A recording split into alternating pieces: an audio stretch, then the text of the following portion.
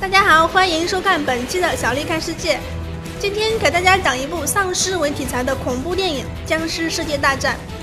在波士顿的一个毫无征兆的清晨，前联合国调查员莱恩及其家人驾车外出，谁知发生了连环的爆炸。惊慌失措的人群和突然出现在城市里啃咬他人的丧尸，把这原本快乐宁静的城市全然改变了。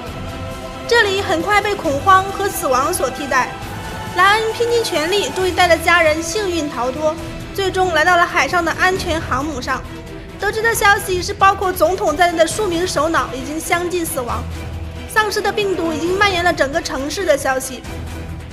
为了阻止事态的继续蔓延，莱恩决定放手一搏，接受命令和病毒专家及军队一起前往病毒的源头之地，去寻找解读病毒危机的方法。可是随之而来的却是依然是束手无措。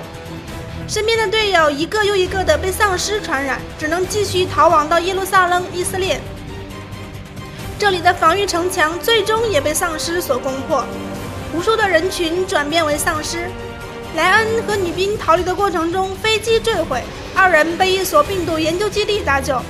在这里，莱恩最终找到了方法，利用可抑制病菌，能够避开丧尸的追杀。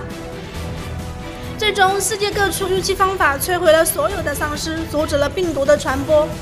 本片于二零一七年六月二十一日在美国上映，得到的投资是一点二五亿美元。这个数字在僵尸电影中算是一个绝对的高数字了，创立了僵尸片的新标杆。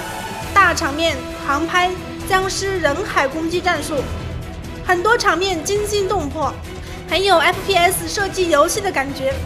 耶路撒冷的尸山总攻段落堪称经典，不少僵尸迷都对这部电影中的恐怖杀戮桥段也甚是满意。